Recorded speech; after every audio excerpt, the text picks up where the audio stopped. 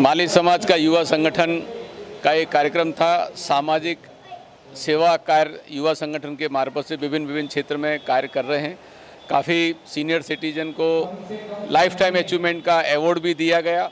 ये भी एक प्रेरणा के रूप है कि जो सीनियर सिटीजनों का सम्मान किया गया, उससे खास करके जो युवा हैं, जो अभी समाज का काम करें, उनको भी प्रेरणा मिलती है।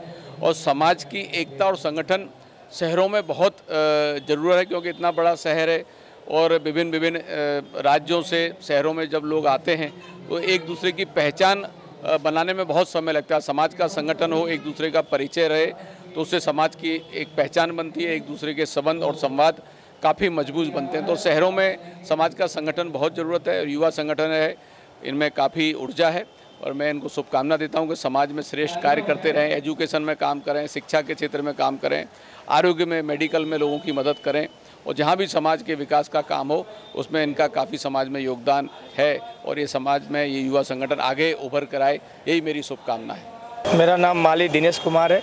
माली समाज युवा संगठन के फाउंडर मेंबरों में से मैं हूँ और माली समाज युवा संगठन जो है, माली समाज के सेवा का पूरा कार्य बच्चों की शिक्षा से लेकर जीवन मरण, यानी कि ये मैं कहूँ कि माली समाज युवा संगठन जो है, वो अपने सदस्यों के लिए ज़िंदगी के साथ भी और ज़िंदगी के बाद तक हमेशा उनकी सेवा के लिए सदैव तत्पर है तत्पर रहेगा और इसी प्रेरणा और ऊर्जा के साथ हम पिछले दस वर्षों से काम कर रहे हैं। ये संस्था पिछले दस वर्षों से समाज की सेवा में जुटा हुआ है। बहुत बहुत धन्यवाद। अहमदाबाद माली युवा संगठन का आज कार्यक्रम था। बहुत सारे महानुभावों को बुलाया गया था। स्थानीय एमएलए बापूनगर विधानसभा के श्री हिम्मत सिंह पटेल साहब भी हाजिर थे। हमारे समाज के जितने भी युवा वर्ग है वो सब आ, मेडिकल और दूसरा शैक्षणिक बाबतों में बच्चों को इनाम देना और इस बार तो हमने लाइफ टाइम अचीवमेंट अवार्ड भी दिया है। जिन लोगों ने समाज के लिए अच्छा काम किया है, उन लोगों के लिए लाइफ टाइम अचीवमेंट अवार्ड तीन जनों को दिया है। उसमें दो सीनियर सिटीजन भी है।